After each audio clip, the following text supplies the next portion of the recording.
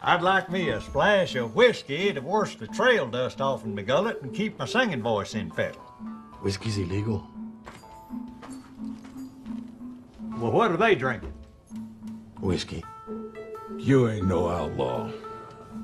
And we don't drink with tin horns. Sir, it seems that you are no better a judge of human beings than you are a specimen of one. Just on a brief inventory, I'd say that you could use yourself a shave and a brighter disposition.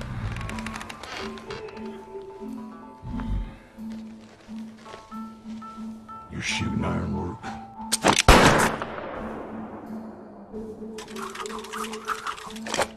Appears to do, yes.